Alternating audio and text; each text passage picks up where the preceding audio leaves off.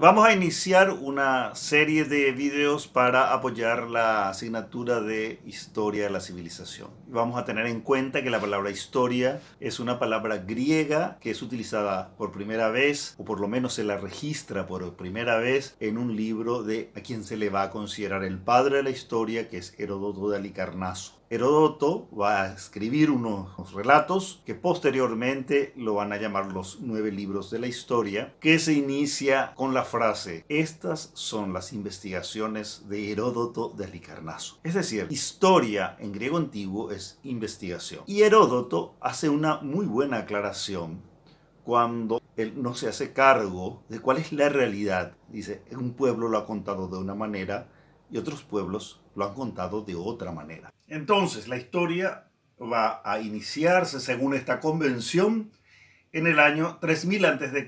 con la aparición de la escritura va a terminar en el año 476 después de Cristo. ¿Y qué pasó en el año 476?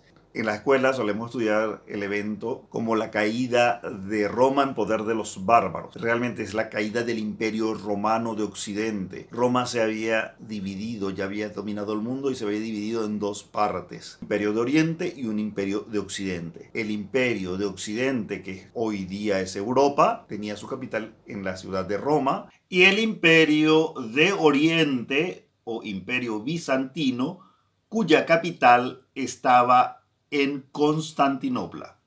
Todo el imperio se llamaba Roma y va a ser invadida por unos pueblos extranjeros al que ellos van a llamar bárbaros. Ellos llamaban bárbaros a todos los que no hablaban ni griego ni latín. Entonces, este evento va a marcar el fin de la Edad Antigua y va a dar inicio a lo que se va a llamar la Edad Media. La Edad Media va a ser un periodo muy largo, casi de mil años, que va a culminar en el año 1453 con la caída de Constantinopla, o por lo menos así lo estudiamos en la escuela, aunque técnicamente es la caída del imperio romano de Oriente, cuya capital estaba en Constantinopla y realmente la última ciudad, el último bastión por caer va a ser Constantinopla en el año 1453 en poder de los turcos. Ese año realmente va a cambiar el mundo porque eh, nadie pensaba que Constantinopla podía caer. Es lo mismo que decir que Washington pueda ser invadida por otro pueblo. Eh,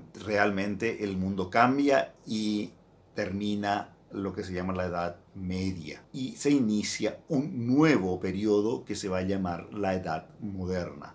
La Edad Moderna va a ser el periodo que vaya de 1453 hasta el año 1789, que va a ser el año de la Revolución Francesa. Los europeos van a descubrir de golpe que ellos no eran el centro de la Tierra, que la Tierra no era plana, que el mundo era extremadamente más grande que lo que ellos pensaban. Y eso va a marcar el final de la Edad Moderna. Va a ser el culmen de la Edad Moderna, la Revolución Francesa. ¿Por qué? Porque le van a cortar la cabeza a Luis XVI. Y Luis XVI era un rey que todos pensaban que fue nombrado, como todos los reyes, por Dios. Y eso fue un cambio absolutamente impensable en la forma de vivir y de pensar de los europeos. Los cambios fueron muchísimos, lo vamos a estudiar a su debido tiempo. A partir del año 1789, del año de la Revolución Francesa, se llama a toda la edad en que estamos viviendo edad contemporánea. Durante toda mi carrera docente trataba de explicar a mis alumnos que era muy probable que la edad contemporánea